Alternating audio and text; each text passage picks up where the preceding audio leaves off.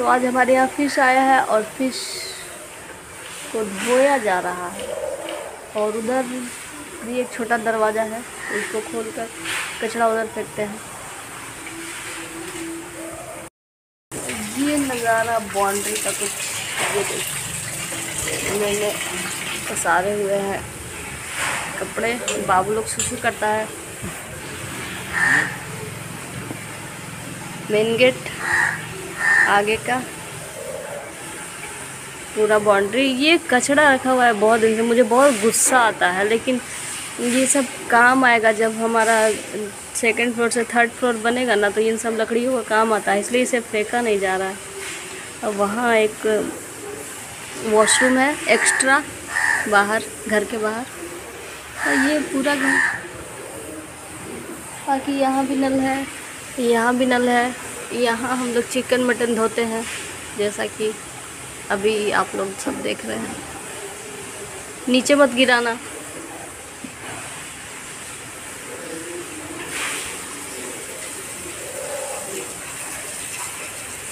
काची दे। आटा। आटा दे, नमक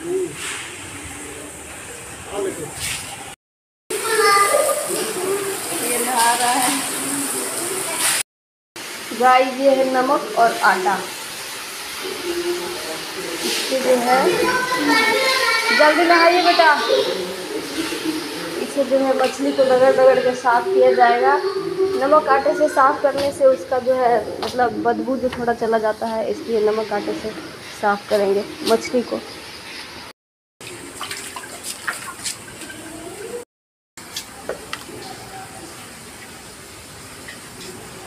नमक। उसी में नमक, आटा सब है। रहा है कपड़ा उपड़ा खोल के ही, पैंट खोल के?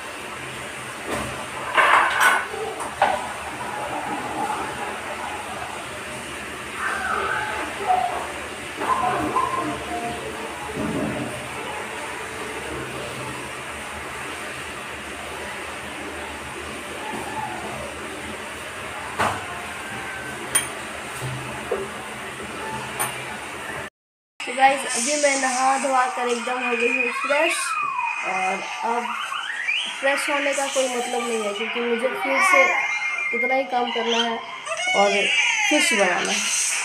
तो देखते हैं। तो दोस्तों, अभी मैं जा रही हूँ मसाला पीसने और इसमें डालूँगी लहसुन और सरसों, बाबू भी रो रहा है। तो जल्दी जल्दी बता दूँ आप लोगों को। लहसुन, सरसों, मिर्चाई आई मीन मिर्ची, बिहारी लैंग्वेज से तो आ जाती है। और हल्दी, जीरा गोल की, बस इतना ही। याद रहे। लहसुन, मिर्ची, हल्दी, जीरा गोल की और सरसों। सरसों डालना मस्ट है। क्यों नहीं डालेंगे तो फ़िश अच्छा नहीं बनता।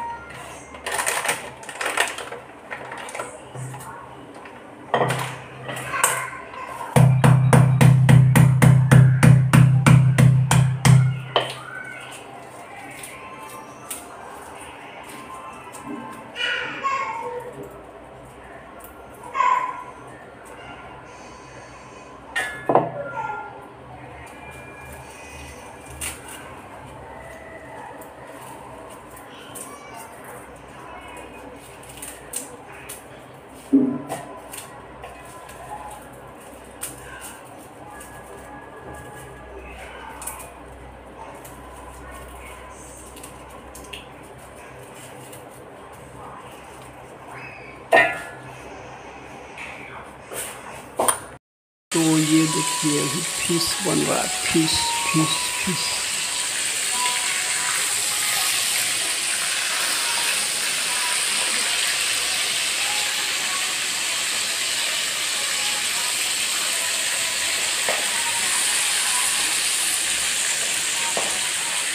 कैसा लग रहा है बनाने में।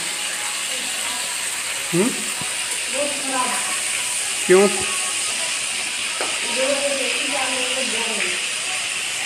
सुबह तो बोल रहे थे अच्छा लग रहा है।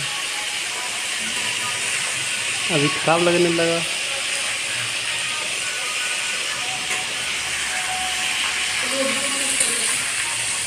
देख रहे हैं आप लोग, क्या बन रहा है? फ़िश। फ़िश खाइएगा आज।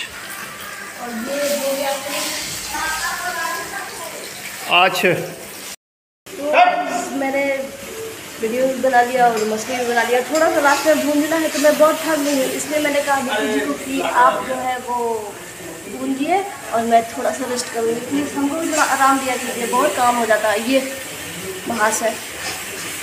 चलो बेटा तुमको रेडी कर देते हैं। ओ आराम कहाँ है मेरे ज़िंदगी में? कभी नहीं। सर अच्छा से बनाइएगा, ठीक है? बन तो गया है, पानी तो डालना है बस। अभी मसाला भुंजा रहा है। अब मसाला भुन जाएगा, पानी डाल लेंगे। पानी डालने के बाद फिर ये फ़िश इसमें डालकर हल्का सा खदका कर, फिर उतार देंगे। फ़िश बन गया।